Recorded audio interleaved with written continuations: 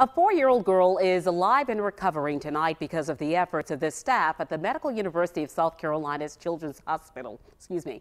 And her parents are singing their praises. News 2's Colby Thielen joins us from MUSC with the amazing story you'll see only on 2. Hey, good evening. It's been nearly a week since four-year-old Annie Nichols was brought here.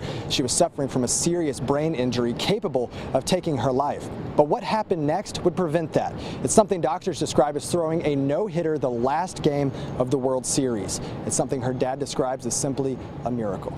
It was the scariest and most unexpected moment of Billy Nichols' life seeing his joyful, spunky four year old daughter struggle for hers. You, did, didn't know what to do, you just kind of went numb. It all started on Saturday night when Annie slipped on wet concrete, falling and hitting her head.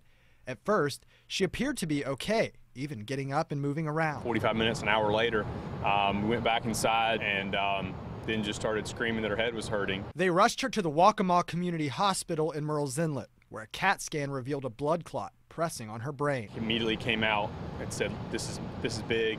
You know, we're going to airlift her to MUSC," which was just it, was surreal. Nichols says they turned to prayer as they waited for the helicopter to arrive. They'd had another call that night and it got canceled. There was also a really bad storm coming from Florence that the pilot was worried about. He pointed over and you could still see it in the distance and he said, it's just kind of stalled over there. And all those were signs from God for us. When Annie arrived here for surgery, doctors say that she was in a comatose state or in critical condition, fading fast, and time was of the essence. She was knocking on death's door.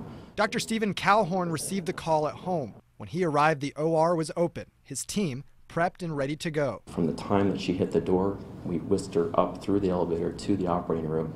And I'd say within 15 minutes, we had the epidural blood clot out of her head, and she was safe. His eyes fill with tears as he talks about the efforts of the hospital staff. One of the most impressive, concerted efforts to help an individual patient I've ever seen. It's why we do what we do. Um, it's what we're called to do. As Annie recovers, her dad wears her favorite necklace around his wrist, waiting for the moment she's able to ask for it. Every day is an improvement, so we thank God for that. My prayer has been that we get our Annie back.